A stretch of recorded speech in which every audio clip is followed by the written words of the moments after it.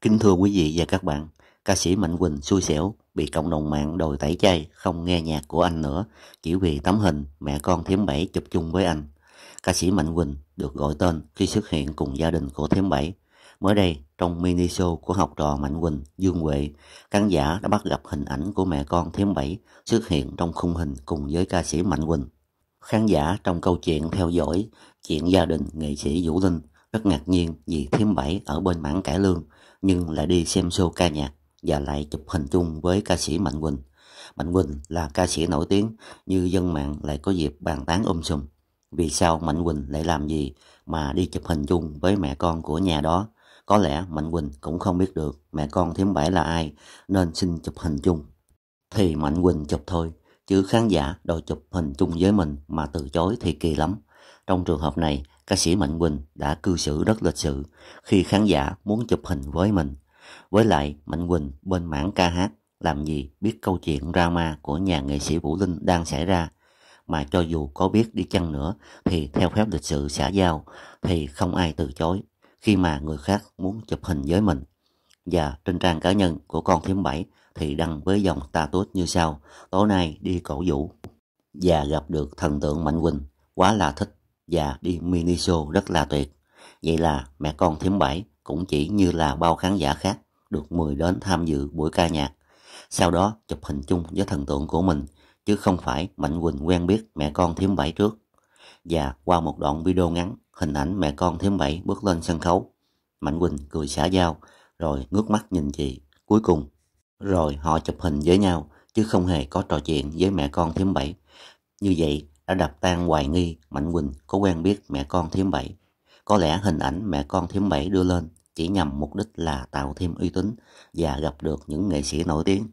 Tuy nhiên, sự việc này không ngờ đã bị một lượt cộng đồng mạng tiếp tục bình luận sôi nổi như Mạnh Quỳnh đã gặp kiếp nạn thứ 82.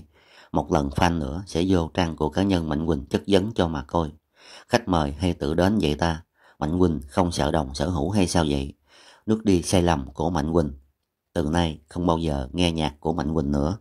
Hay là một số bình luận khác, chuyện đó là chuyện nội bộ của gia đình của chú Vũ Linh, còn chú Mạnh Quỳnh có làm gì đâu.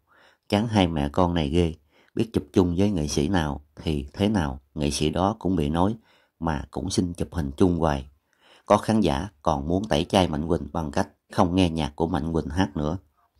Khi tin tức này được lan truyền vào hôm nay, chắc có lẽ cũng chưa tới tay của Mạnh Quỳnh nhưng khán giả cũng nên thông cảm cho Mạnh Quỳnh.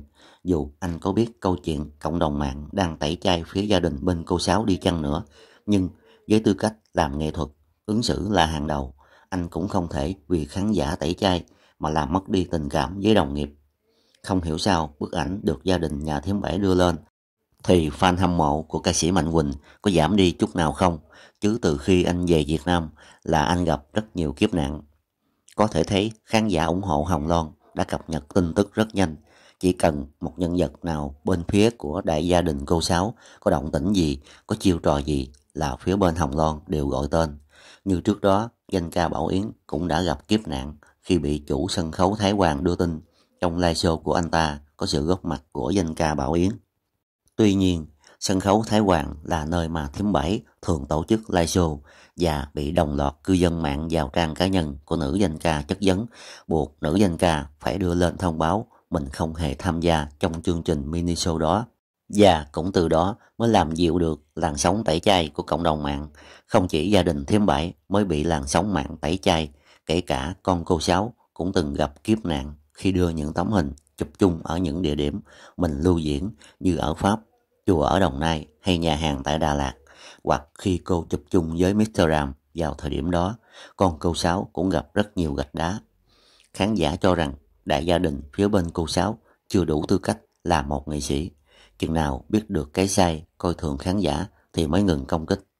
Thế nhưng điều đó có thể chỉ là trong mơ, vì trong một livestream con của cô Sáu cũng đã từng nói rằng bây giờ cô chỉ trân trọng những khán giả nào yêu thương gia đình của cô ta mà thôi.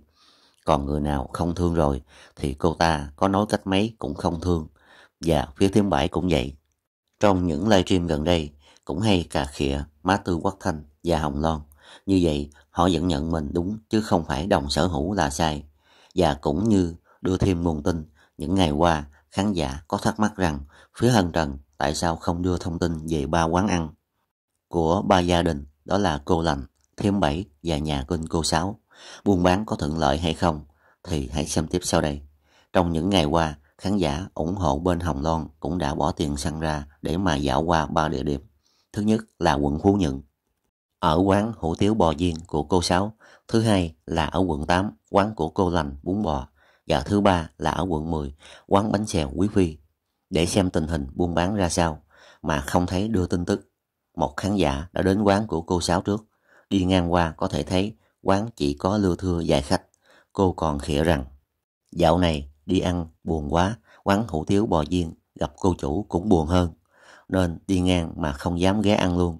Và cô cũng đăng hai tấm hình ở hai nơi, quán cô lành và quán thiếm bảy cũng vắng tanh như ở chùa Bà Đanh.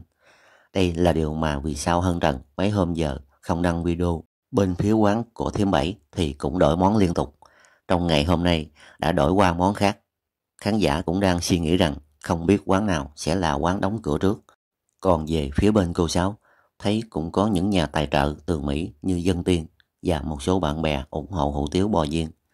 Trên trang cá nhân của con cô Sáu cũng đã ghi và quán cô Sáu xin tri ân các cô, chú, anh chị em mạnh thường quân đã chung tay trong các chuyến từ thiện tại các nơi trong nội thành, đã gửi tô hủ tiếu và phần xíu mại đến cho mọi người.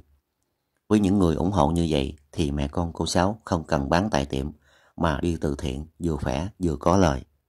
Còn phía bên thím bảy nếu bán ý quá thì sẽ có kế sách thứ hai đó là chạy xô để bù lỗ tiền mặt bằng.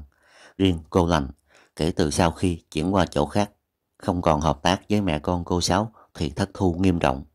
Theo quý khán giả thì trong ba quán, quán nào sẽ đóng cửa trước. Còn nói về Hồng Loan, trong những ngày vừa qua, Hồng Loan đã cùng anh em của mình vừa kết hợp đi xuống miền Tây thăm gia đình của chú Chánh, cũng như vừa kết hợp chạy xô ở miếu của bà Châu Đốc.